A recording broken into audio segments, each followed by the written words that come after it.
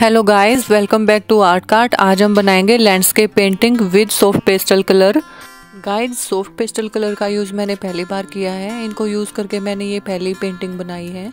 देखते हैं ये आज कैसी रेडी होती है।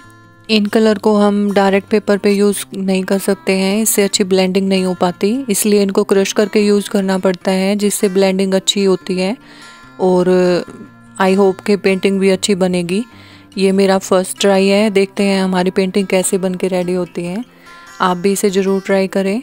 ये वैसे ये जितना इजी लग रहा है, उतना इजी नहीं है बट मैंने पहली बार ट्राई किया है। देखते हैं हमारी पेंटिंग कैसी रेडी हो पाती है।